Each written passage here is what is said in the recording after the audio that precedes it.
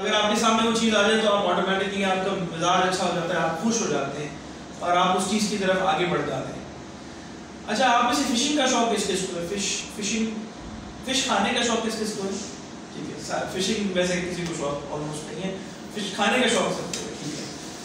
अच्छा अगर इंसान को मछली पकड़नी होती है तो मछली पकड़ने के लिए उसको जो है वो बेट डालना होता है, कांटा बनाना होता है और वो कांटा डालता है पानी में तो फिर उसकी तरफ़ अट्रैक्ट होती है और आ जाती है। अच्छा अब कुछ लोग बोलते हैं अब मैंने एक सवाल किया। और सवाल ये था कि लोगों को कैसे ट्रीट करें? लोगों को कैसे सर्व करें? तो आप में से कुछ दोस्तों ने उसका जवाब इस तरह से दिया कि जैसे आप खुद ट्रीट होना चाहते हो। तो फिर मैंने सवाल किया कि क्या ये जवाब ठीक है? कि क्या आप जैसे ट्रीट होना चाहते हैं वैसे ही आप अपने कस्टमर्स को ट्रीट कर, करेंगे तो कस्टमर्स खुश होंगे? क्या बात ठीक है। आप में से कितने लोग इसको अग्री करते हैं?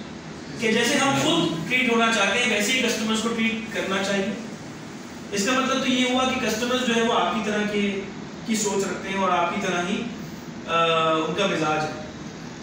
जो कि सही नहीं है जो कि गलत बात है। ये ऐसे ही कि जैसे आप मछली पकड़ने जाते हैं आपको खाने में लग से चॉकलेट बहुत पसंद है।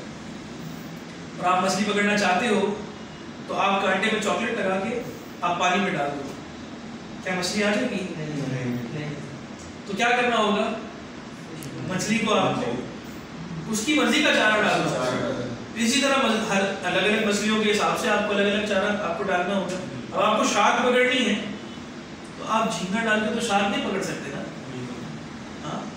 उसके लिए आपको एक बड़ी मछली डालनी पड़ेगी कुछ ना कुछ आपको सर्व करना होगा to attract that fish towards you similarly यहाँ लिखा हुआ है कि each customer is unique and different in its own way क्योंकि हर कस्टमर मुख्तलिफ़ है।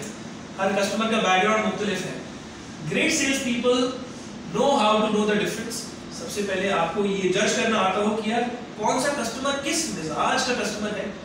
उसको आपको जज करना आता हो कि यार इसको मैं कैसे ट्रीट करूँगा तो ये मेरी तरफ़ अट्रैक्ट होगा, उसे मेरे प्रोडक्ट्स पसंद आएँगे। उससे किस तरह बात करूँगा। इसके सामने मेरी बॉडी लैंग्वेज कैसी होगी? इसके सामने मेरा एटीट्यूड किस तरह का होगा? तो जब आपका ये एटीट्यूड होगा तो फिर आप उसको मटीरियलाइज कर पाएँगे। तो इसीलिए for every fish the bait has to be different and for every customer the way has to be different the service the customer service has to be different and accord, in accordance to that customer. Relevant to that customer's need. तो पहले आपको